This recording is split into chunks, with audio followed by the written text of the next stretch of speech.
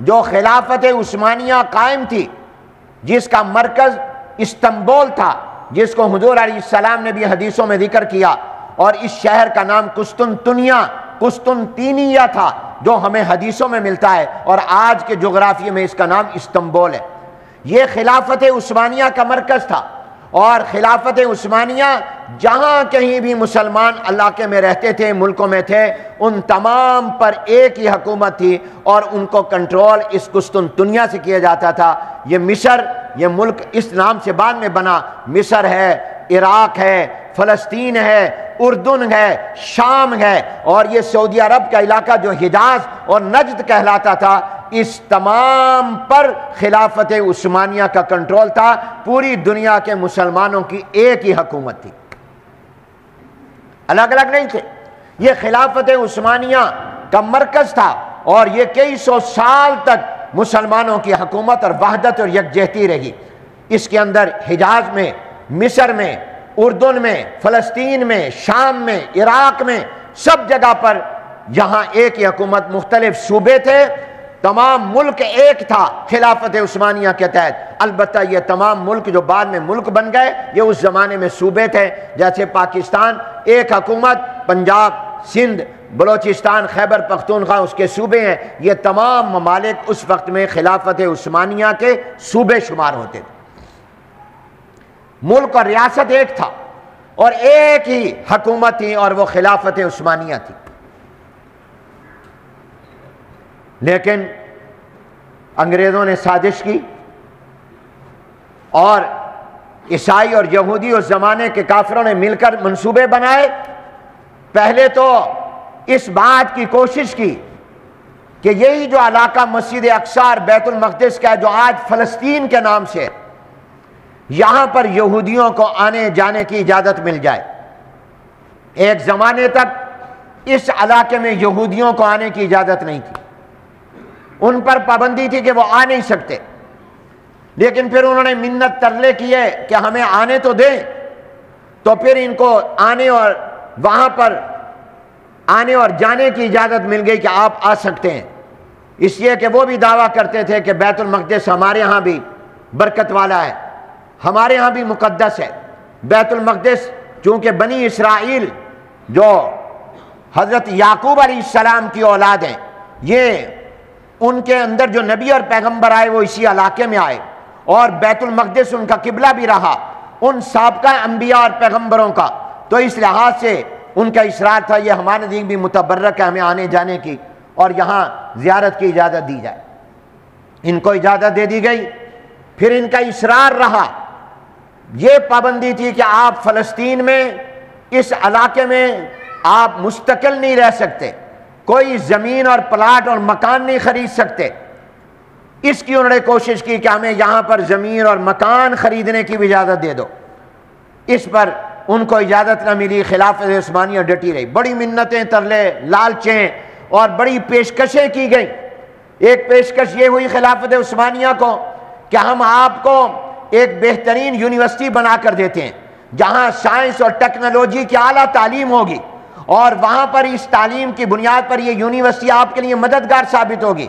آپ کی خلافت عثمانیہ کا دائرہ بہت وسیع ہے، تو آپ کو ہم یہاں پر ایک یونیورسٹی بنا کر دیتے ہیں۔ تو سائنس اور ٹیکنالوجی کی تعلیم لینے والے سائنس دان جو پیدا ہوں گے، وہ آپ کی حکومت اور خلافت کی مضبوطی میں کردار ادا کریں گے۔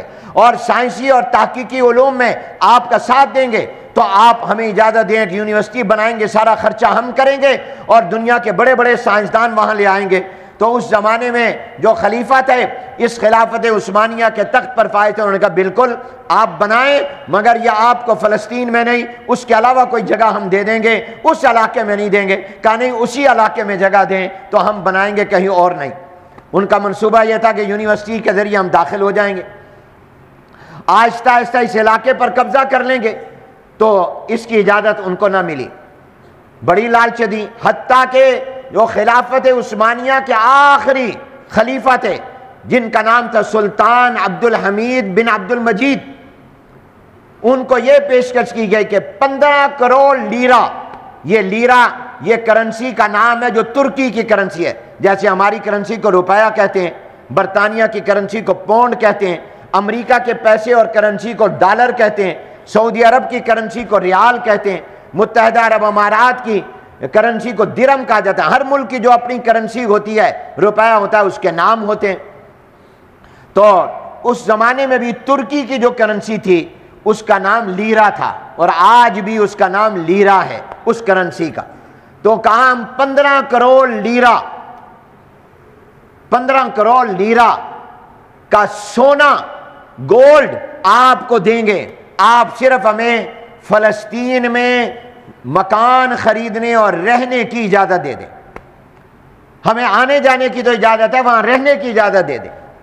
وہ چونکہ جانتے تھے کہ ان کا منصوبہ ہے کہ وہاں رفتہ رفتہ رہیں گے اور پھر قبضہ کر لیں گے۔ اس علاقے پر یہی طریقہ واردات ہوتا ہے کہ آپ نے کسی علاقے پر قبضہ کرنا ہے، پہلے جا کر وہاں مکان لے لو، پھر آہستہ آہستہ اپنے رشتہ داروں کو بلا لو۔ اپنے دوستوں کو بلا لو، اپنے ماننے والوں کو بنا لو، آہستہ آہستہ اس علاقے میں زیادہ جگہ لے لو، اپنے آپ بندے آباد کر لو اور پھر رفتہ رفتہ بغاوت کر دو اور قبضہ کر لو۔ سلطان عبد الحمید رحمت اللہ علیہ اللہ سے ڈرنے والے تھے، دیندار تھے، سالے تھے، خدا خوفی والے تھے۔ انہوں نے اس زمانے کا پندرہ کروڑ لیرا کیا ہوگا؟ آج کا لیرا اور آج کا ایک لاکھ ایک کروڑ بڑی قیمت رکھتا ہے، تو اس زمانے کا پندرہ کروڑ لیرا وہ تو آج کے اربوں خربوں روپے بنیں گے۔ یہ انسان کا، ایمان کا امتحان ہوتا ہے۔ لالچ میں آتا ہے کہ نہیں آتا؟ انہوں نے اس لالچ کو ٹھکرا دیا۔ کہا کہ میں ایک لیرا بھی لینے کے لیے تیار نہیں ہوں۔ میں مسجد اکثار بیت المقدس میں تمہیں کبھی بھی مستقل وہاں رہنے کی اجازت نہیں دے سکتا۔ تمہیں وہاں زمین خریدنے کی اور مکان خریدنے کی اجازت نہیں دے سکتا۔ مجھے نہیں چاہیے ایسی یونیورسٹی اور مجھے نہیں چاہیے ایسا سونا اور گولڈ اور ایسا پیسہ۔ جب انہوں نے دیکھا کہ یہ تو کسی بھی ہماری پیشکش کو قبول نہیں کر رہے، تو اب انہوں نے سازش اور منصوبہ شروع کیا۔ اور دشمن کا ہمیشہ یہ طریقہ رہا ہے، وہ اندر سے پھوٹ ڈالتا ہے۔ اس نے پھر مسلمانوں میں اپنے ایجنٹ تیار کیے، اپنے دلال تیار کیے۔ ان کو پیسہ لالچ دیے اور لالچ دے کر اندر اندر سازشیں اور منصوبے بنائے۔ اور پھر اسی سلطان عبد الحمید مرحوم، جو آخری خلیفہ تھا، خلافت عثمانیہ کے، اس کے خلاف بغاوت کروائی۔ حجاز میں بغاوت کروائی۔ مکے کا جو گورنر تھا شریف، حسین سے اس اس سے بغاوت کروائی اور ملکوں میں بغاوتیں کروائیں۔ اور بغاوت کروا کے ان سے کہا، تم اس کا انکار کر دو، ہم ان کو نہیں مانتے، ہم تمہارے ملک بنوا دیں گے، پیسہ دیں گے، تمہیں تمام چیزیں دیں گے۔ مسلمانوں کے اندر پھوٹ ڈالی، بغاوت پیدا کی، باغی تیار کیے اور اس طرح پر خلافت عثمانیہ ختم ہو گئی۔ اور خلافت عثمانیہ کا جو آخری خلیفہ تھا، سلطان عبد الحمید اس نے جیل جانا، نظر بند ہونا، بادشاہت کی کرسی کو چھوڑنا گوارا کر لیا، مگر اسلام اور مسلمانوں سے غداری کو گوارا نہیں کیا۔ اس کی آخری زندگی نظر بندی میں گزری، وہ جیل میں گزری۔ کہاں ایک زمانے میں اتنے علاقے کی حکومت، لیکن کیسا وہ مسلمان تھا کہ اس نے یہ گوارا نہیں کیا کہ میں بیت المقدس اور مسجد اقسا کے علاقے میں ان کو فلسطین میں یہودیوں کو رہنے کی اجازت دوں۔ جب خلافت عثمانیہ ختم ہو گئی تو پھر رفتہ رفتہ انہوں نے یہ انیسویں صدی کے تک مسجد اقسا میں اور فلسطین میں یہودی نہیں رہ سکتے تھے۔ لیکن بعد میں پھر بیسویں صدی میں انہوں نے اپنی سازشوں کو جب پروان چڑھایا اور خلافت عثمانیہ ختم ہو گئی تو پھر انہوں نے رفتہ رفتہ یہ اجازت لے لی کہ ہم وہاں پر برطانیہ نے کچھ علاقے پر قبضہ کیا اور انہوں نے اس وقت کی عالمی کفریہ تاغوتی طاقتوں کے ذریعے ان یہودیوں کو فلسطین کے اندر رہنے کی اجازت دے دی اور آہستہ آہستہ یہ وہاں جمع ہونے شروع ہو گئے۔ باہر سے اپنی یہودی بلانے شروع کر دیے اور وہاں پر زمینیں خریدنے شروع کر دیں۔ اس وقت میں ہمارے علماء نے فتوہ دیا، حکیم الامت حضرت مولانا شرف علی تھانوی رحمۃ اللہ نے فتوہ دیا۔ کہ کسی مسلمان کے لیے فلسطین کے اندر اپنی زمین کسی یہودی، عیسائی اور کافر کو بیچنا جائز نہیں ہے۔ کیوں؟ ان کا منصوبہ بیت المقدس پر قبضے کا ہے، مسجد اقسا پر قبضہ کا ہے۔ اور مسجد اقسا اور بیت المقدس اب مسلمانوں کی ہے، کیونکہ رسول اللہ نے وہاں امامت کرائی ہے۔ وہ مسلمانوں کے پاس رہی ہے، لہذا وہ مسلمانوں نے اس کو آباد کرنا ہے۔ اس کے لیے اس قبضے کو، اس منصوبے کو ناکام بنانے کے لیے کوئی اپنا مکان ان کو نہ بیچے۔ مگر مسلمان بھی لالچی ہے انہوں نے ڈبل تین گنا قیمتیں دینا شروع کر دی جس مکان کی قیمت لاکھ ہے، وہ پانچ لاکھ دے رہے ہیں، دس لاکھ دے رہے ہیں۔ جیسے آج آپ کے علاقے میں بھی، آپ کے کالونیوں میں بھی کوئی مرزائی اور آپ تحقیق نہیں کرتے کہ میرا مکان خریدنے والا کون ہے۔ اس کا عقیدہ کیسا ہے؟ یہ مسلمان بھی ہے یہ نہیں ہے؟ مرزائی تو نہیں ہے، یہ قادیانی تو نہیں ہے، یہ کہیں کوئی رافضی تو نہیں ہے۔ یہ اہل سنت والجماعت میں سے بھی تعلق رکھتا ہے یا نہیں رکھتا؟ آپ نے یہ دیکھنا ہے کہ پیشکش زیادہ کون کر رہا ہے؟ اگر تین گنا، چار گنا قیمت اور ویلیو آپ کو مارکیٹ سے زیادہ مل رہی ہے، آپ بڑے شوق سے دے دیں گے۔ اور رفتہ رفتہ وہ آپ کے مکان قبضے کریں گے اور پھر اس کے بعد اپنی علامتیں لگائیں گے اور پھر آپ کو وہاں سے نکلنا پڑ جائے گا۔ پھر وہاں ان کے سارے کام شروع ہو جائیں گے۔ اور آپ اور سب غفلت کی چادر لپیٹ کر سوئے میں مال کی لالچ ہر انسان میں۔